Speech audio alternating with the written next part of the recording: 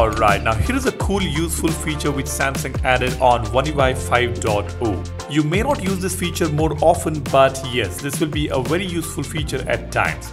Let's find out what is this feature all about. I've got this Galaxy S22 Ultra running on One UI 5.0 beta. Let's go to settings.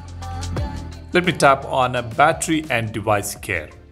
When we scroll down, you can see we have got something called maintenance mode. It says protect your privacy while your phone is being repaired. Let's tap on this. Here it says maintenance mode protects your privacy while someone else is using your phone such as when you are sending it for repairs. In maintenance mode your personal data including pictures, messages and accounts can't be accessed and only pre-installed applications can be used. You will need to unlock your phone to turn off maintenance mode. When you do, everything will go back to the way it was when maintenance mode was first turned on. Changes made while maintenance mode is on, such as downloaded data or setting changes, are not saved. So basically this is a privacy feature when you turn on this maintenance mode and hand over the phone to somebody else, they will not be able to access any of your personal information. Only the pre-installed applications can be used. Let's find out how exactly this works. Let's go ahead and turn this on. As you can see, we have a pop-up again here. It says your phone needs to restart to turn on maintenance mode. To help our support staff analyze any problems with your phone,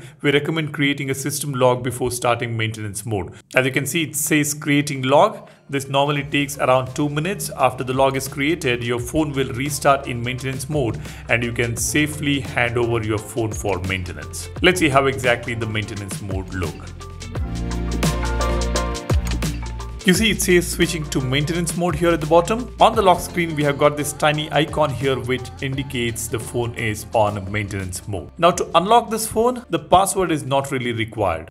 As you can see, it just unlocks and we have got some pre-installed applications here as it is mentioned on the instructions. You have Galaxy Store, Gallery, Play Store, some of the Google applications, phone, messages, clock, calendar, OneDrive, etc. Only the pre-installed applications are here. Now let's open phone application. As you can see, there is no data here no recent calls. Let me open messages. Again, there are no messages here. Gallery, there is nothing inside. If I tap on Play Store, again it has to be logged in. There is no access to any of our accounts on the phone right now in this maintenance mode.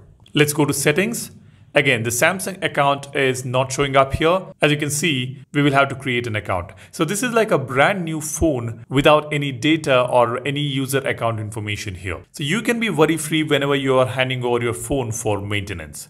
Now let's find out how to get back to the normal mode. Let's open the notification panel here. As you can see, there is a notification which says your phone is in maintenance mode. Tap here to exit. I'll tap on this. At the bottom, you see we have this pill shaped exit option. I'll just tap on this. Your phone needs to restart to exit maintenance mode. I'll tap on restart and here it is. You need to scan your fingerprint or enter your PIN to get back to the normal mode. This is really important and it is really well executed. I will just use the fingerprint here. The phone is restarting now and it will get back to the normal mode with all your data and all your accounts back on the phone. This is a great feature we have got on a One UI 5.0. Let me know what do you think about it. Drop a comment comment and also let me know how many of you guys are on One UI beta.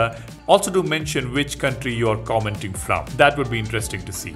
That's all I want to share with you guys. Thanks for watching. You guys take care and stay safe. My name is Salyan signing off. Cheers. Bye-bye.